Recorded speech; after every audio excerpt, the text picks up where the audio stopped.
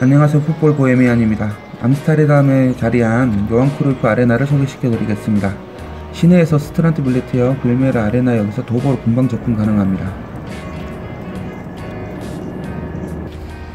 어, 요한 크루이프가 작고한 후 어, 요한 크루이프의 친정팀 처음 축구를 시작한 팀 아약스에서 이 홈구장의 이름을 요한 크루이프에게 번외겠습니다. 아마 이견의 여지가 없을 겁니다. 세계 최고의 슈퍼스타였고 축구 역사를 통틀어서도 가장 뛰어났던 선수였던 요한 크루이프에게 이 거대한 경기장의 이름을 맡기는 것은 뭐 아무도 불만을 가지지 않을 것 같습니다.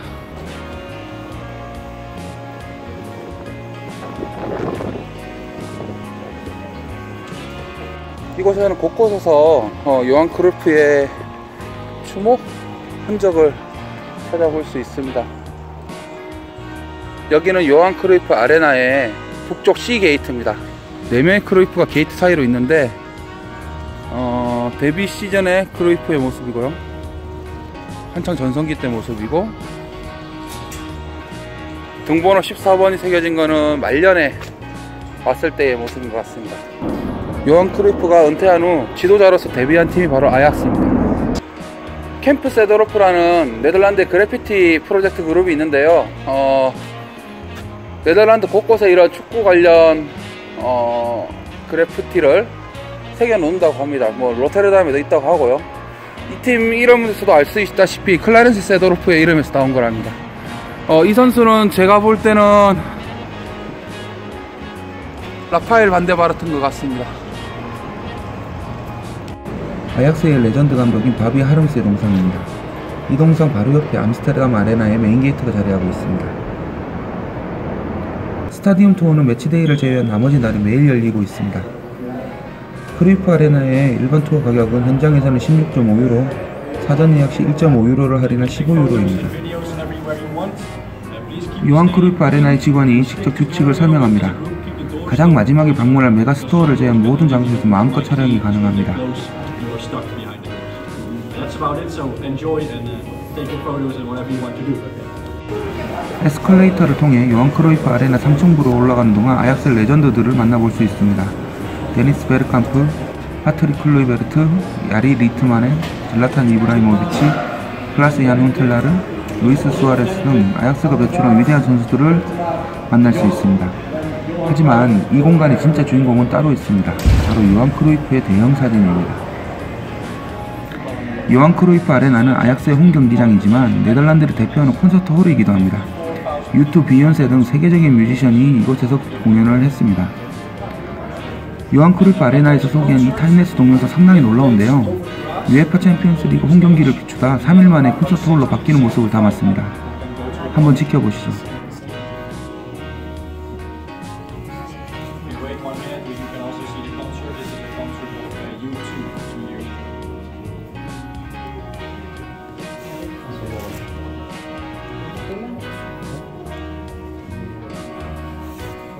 Very good.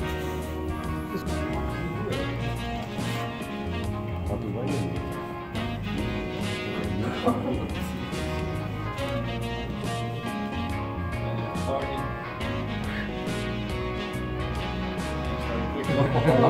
oh, shit.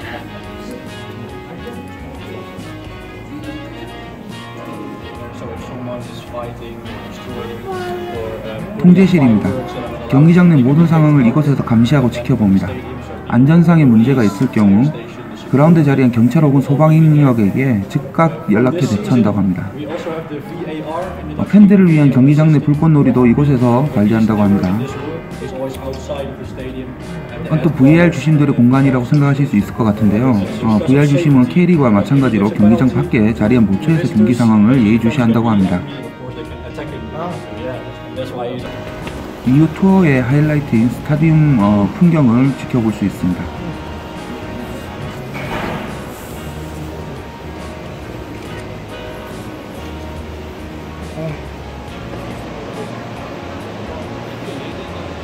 굉장히 완벽한 완벽한 축구 경기장입니다.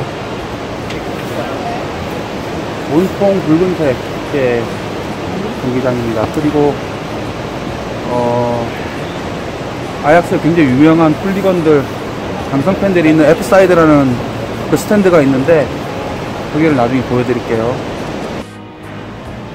F-side는 아약스의 옛 홈구장인 드 메르의 F스탠드에서 이름이 유래했습니다. 강성 팬들이 집결하는 장소가 바로 드 메르의 F스탠드였다고 합니다. 요한 크루이프 아레나는 5만 5천 명을 수용할 수 있습니다. 현재 역대 최다 관중은 지난해 10월 28일 아약스와 페에노르트가 맞붙었던 더 클라시케르 경기였습니다. 이때는 53,720명이 운집했습니다. 또 콘서트홀로 활용될 경우 6만 8천 명까지 수용 가능하다고 합니다.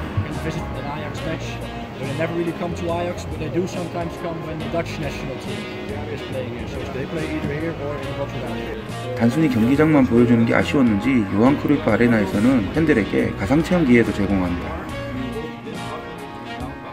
아약스의 라커룸입니다.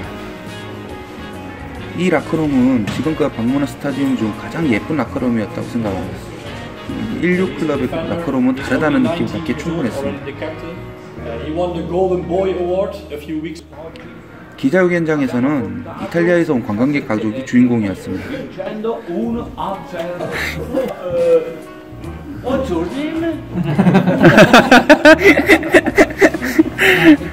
넉살 좋은 이탈리아인답게 감독 상황극을 펼쳤습니다. 함께 투어를 즐긴 한 네덜란드 꼬마 숙녀에게 내 이름이 뭐냐고 물어 주변을 빵 터지게 만들었습니다.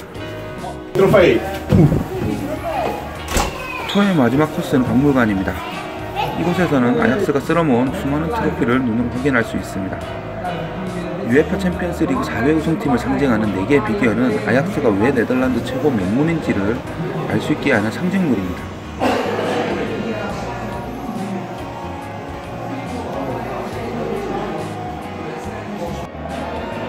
비단 트로피뿐만 아니라 마르코 판바스텐이 받았던 상, 당시 경기 기사,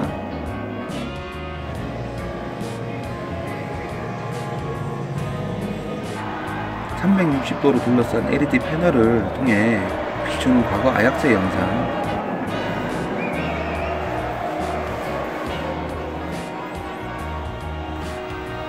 아약스의 명예의 전당 등 즐길 거리가 무척 많은 곳이었습니다. 박물관을 지나치면 곧장 메가스토어로 이어집니다. 아약스의 매력이 빠지셨다면 이곳에서 기꺼이 지갑을 열어보시길 바랍니다. 흥미로운 물품이 상당히 많습니다. 이상 풋볼 보헤미안이었습니다.